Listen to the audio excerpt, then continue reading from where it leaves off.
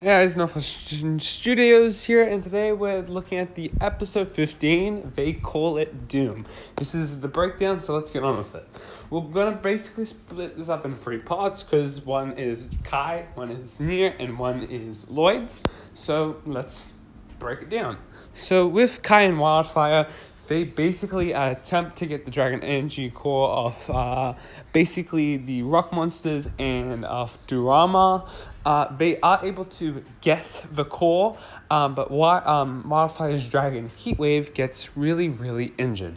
However, on the other side of the factor, Nya and Sora are uh, basically still with the Lost Djinn. The lo- they make a wish with him, and they wish to have a compass guiding them to the Dragon Energy Core, which at the end of the episode, we find out that Nya and Sora find Cole. Now, with Lloyd and Arin Spectra, what Lloyd and Arin are doing is they have finally made it to the Mother Gardens. If you've seen the clip, you've seen the clip. If you've seen the episodes, you understand. I'm not going in chronological order. I'm just explaining the plot for each character, um, each character story.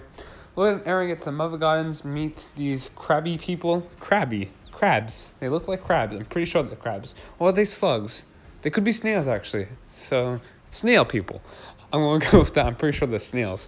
Um, they go basically to this place and they attempt to take the dragon energy core, but Lloyd tells Arin not to steal it because they was told there were guardians. They find the guardians and basically they allow him to take it, but they obviously knew someone. Well, there was someone who had come before to steal the energy core, which was Rapton, and Rapton is now put to the death test, and they want him to basically get obliterated and destroyed. Uh, but Lloyd, uh, Lloyd does not want this, so he goes through these obstacles to go save Rapton to save Rapton, and basically by the end of the episode, Rapton betrays the ninja, and basically administration comes out of nowhere, takes the dragon energy core, and that's where the episode ends.